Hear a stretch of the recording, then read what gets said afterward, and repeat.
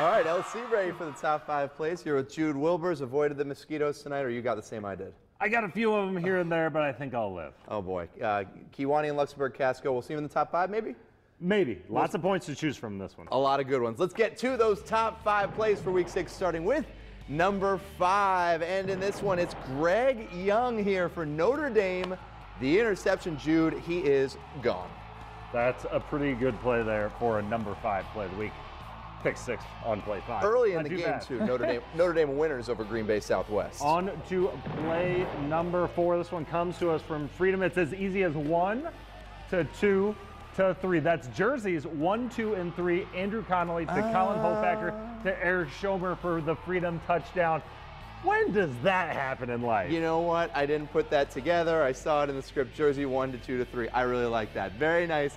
Let's go to play number three now from one of your games, Jude. I knew it would be in here. Kewaunee's Logan Bresky, Peter Metzler.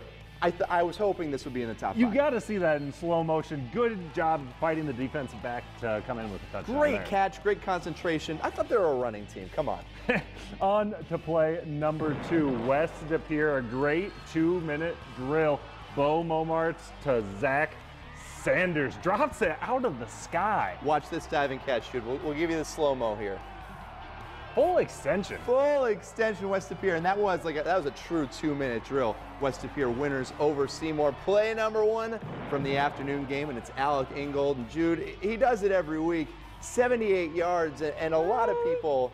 He's a wrestler, but and nobody wants to tackle him. Look at the little cutback here. That's your quarterback right there in the open field. Oh boy, against Ashwaubenon next week. That'll be a good one. Time now to hand out the helmet stickers for tonight. Jude, I'll go first. I'm going with Oshkosh North.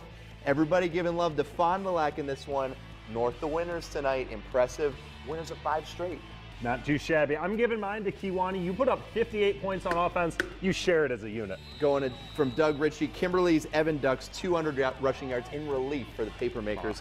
Another win. That's it for week six here of high school game time. Back next week. The highlights on CW14online.com in minutes. For Jude, Doug in the field, I'm Justin.